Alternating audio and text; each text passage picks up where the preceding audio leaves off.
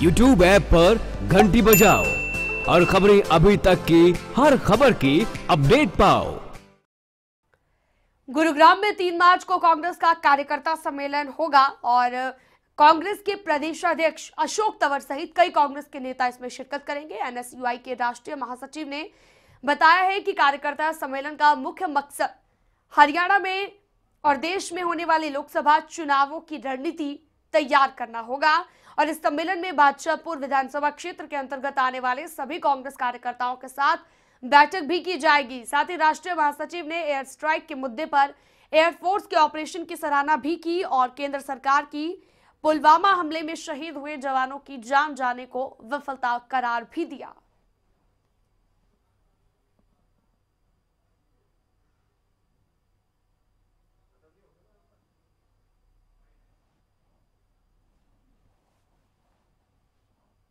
निरंतर मैं बादशाहपुर विधानसभा में गांव-गांव जाकर के युवाओं से मिल रहा हूँ, बुज़ुर्गों से मिल रहा हूँ, माताओं बहनों से मिल रहा हूँ।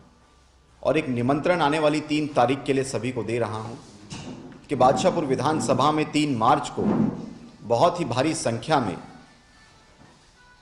कार्यालय का कांग्रेस के कार्यालय का उद्घाटन है एवं कांग्रेस के कार्यकर्ताओं का सम्मेलन है।